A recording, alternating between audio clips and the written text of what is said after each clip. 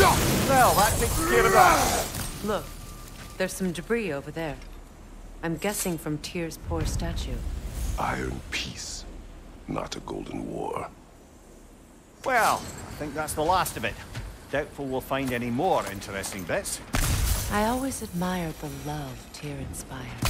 Where I come from, gods of war are not revered in such a way. Not all gods of war are the same, brother. No, they are not.